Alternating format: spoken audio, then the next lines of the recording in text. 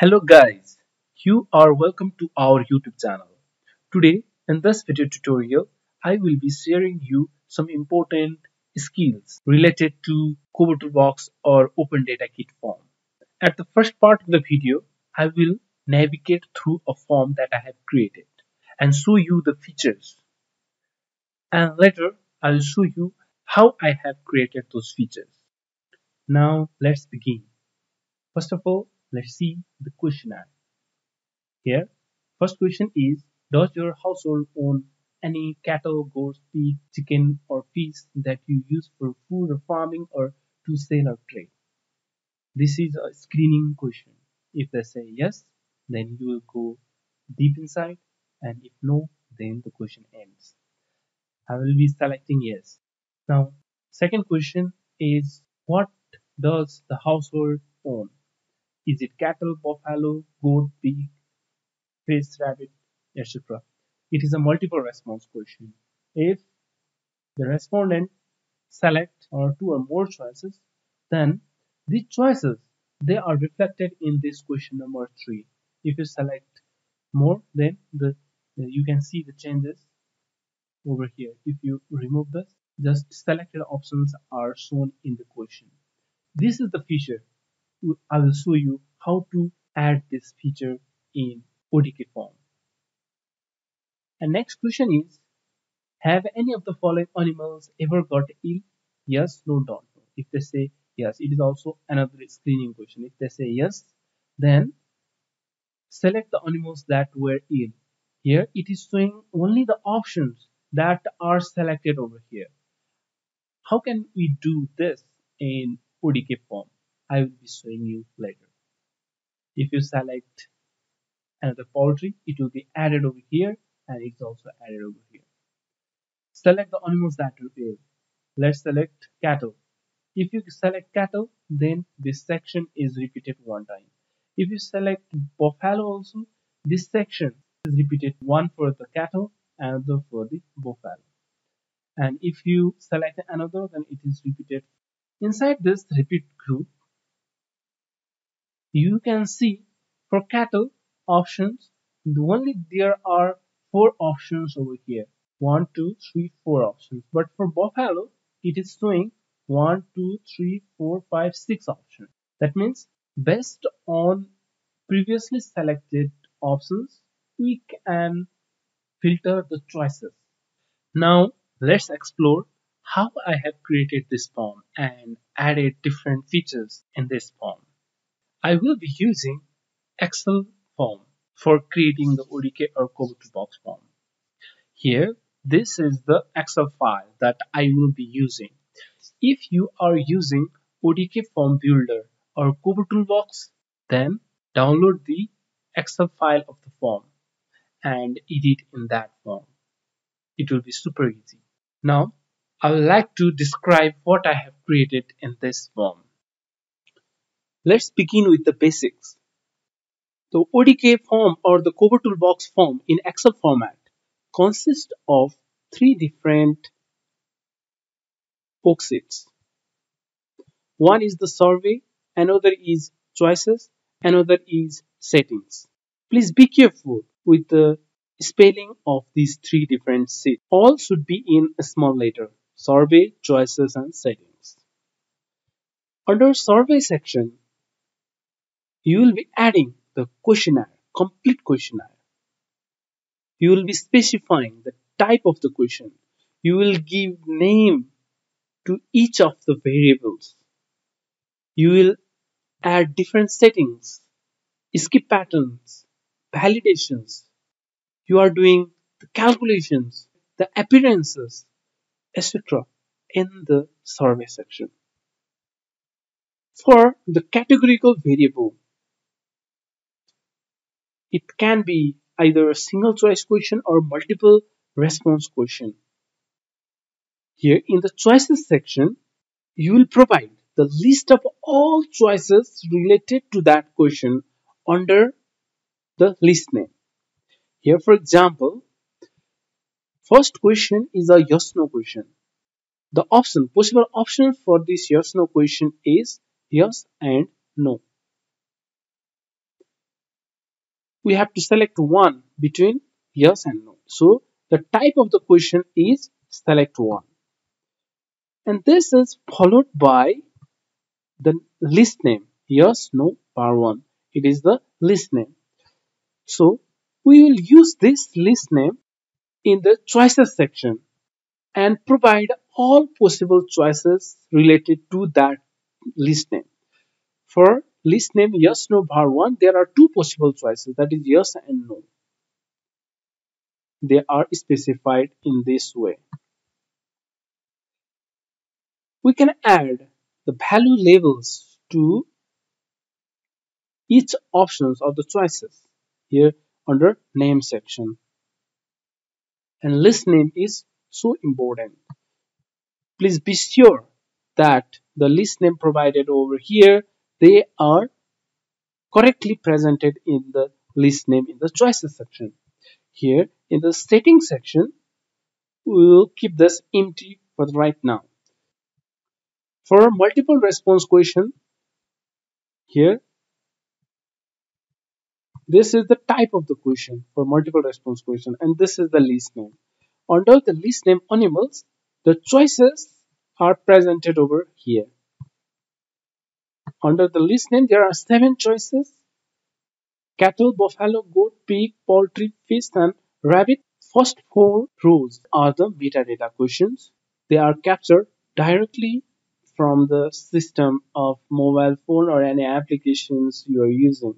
The start, the type start and today, they capture date and time of starting the survey and device ID capture the ID of that device.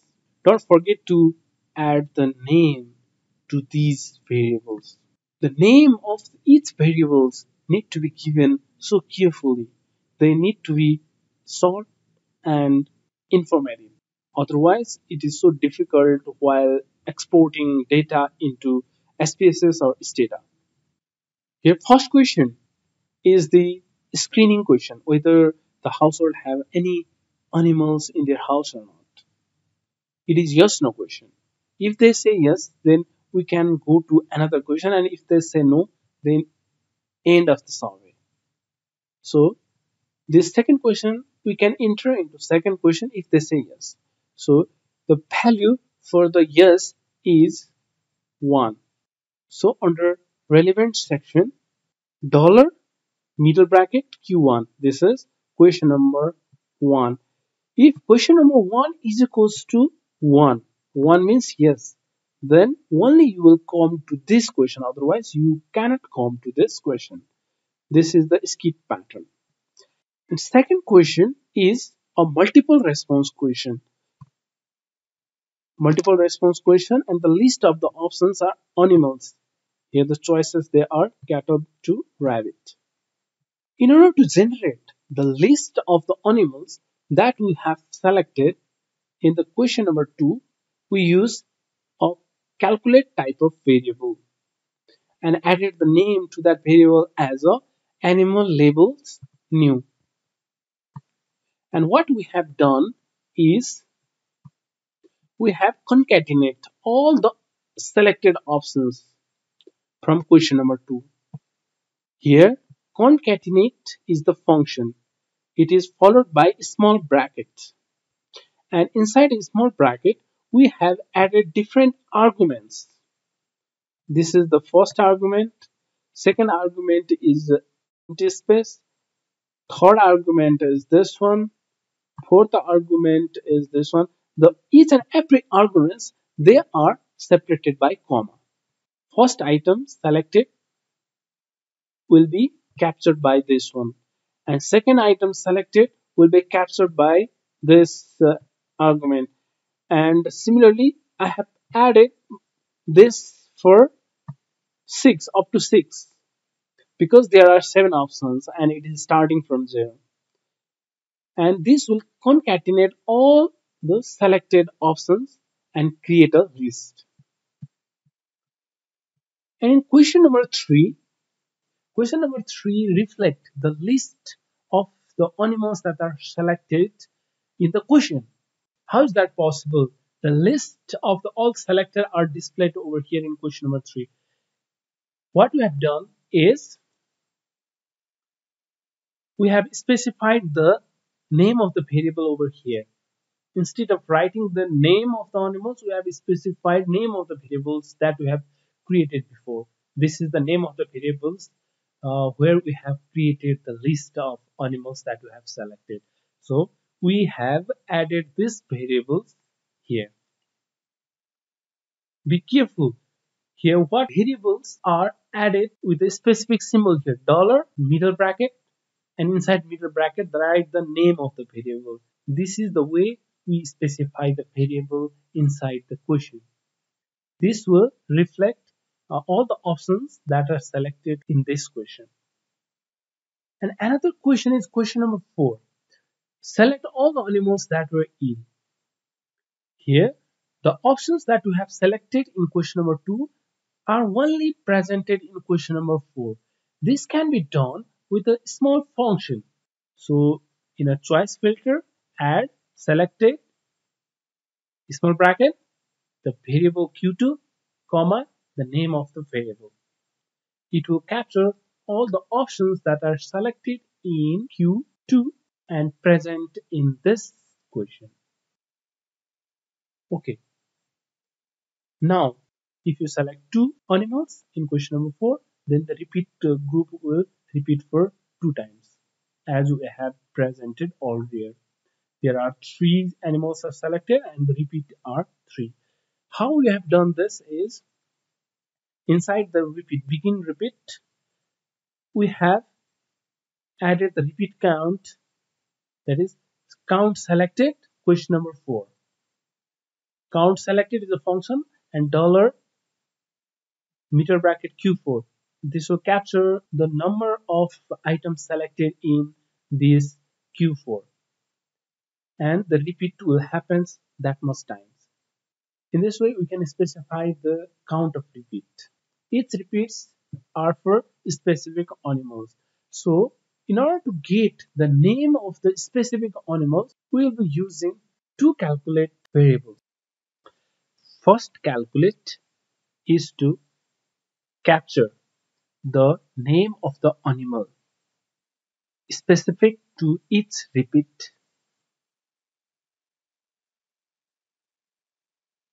We have selected multiple animals and the questions are repeated based on the selected animals. So the first calculate will capture the name of the animal for each repeat and second will capture the labels of each animal here the first calculate the value obtained from the first calculate it is used in the choice filter and the value that is obtained in the second calculate it is used in the question question section. While asking questions, we will reflect the levels that is captured in second calculate and added them in the question. In order to capture the name, you need to specify a specific formula. Here this is the formula. Select it at question number 4 position minus 1 and for second calculate in order to capture the labels you need to have a formula in a calculation section that is this one it will capture the name of the animal for each repeats. And place that we will use that name in the questions that make each question specific to the choice. Here we have added choice filter. In the question in the question the the choices for the cattle are just four four options. But for goat the choices are more than four. We have specified which options are for which animals in the choices section here. Uh, for question number what treatment and who did.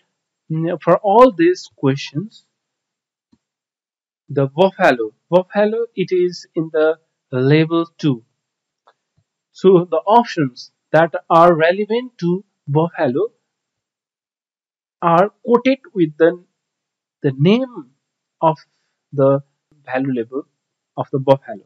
So uh, the options relevant to buffalo they are quoted with 2 and the options that are specific to goats they are quoted with 3 it is these numbers are based on the name over here.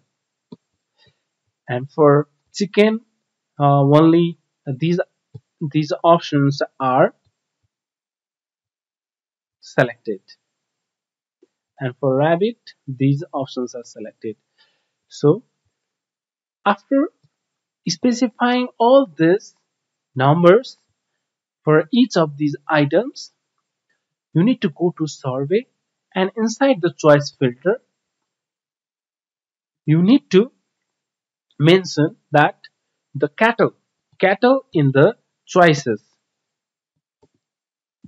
Cattle in the choices cattle in the choices is equals to is equals to this q animal list or buffalo in the choice is equals to animal list or uh, goats in is equals to in the animal list.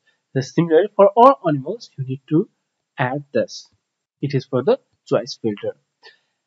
And in question number 6 in question number 6 there is here this is the question number there is don't know and there are other options. If a person select don't know and other options it is wrong. So this can be captured. This error can be validated using the formula here. Here. Constraint. Inside constraint.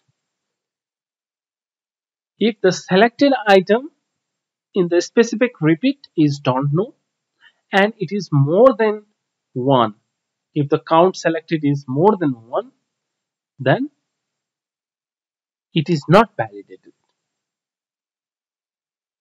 so there is it is wrong. So the question cannot go into another question. And skip is also present over here. If q3 question number 3 is yes then we will can only this question will appear otherwise not. Here go into this link. And open this link and browse the form. Go to browse and then go to form and open not implemented that means it is uh, already opened. I'm saving this and closing this. I'm selecting form and open. Submit.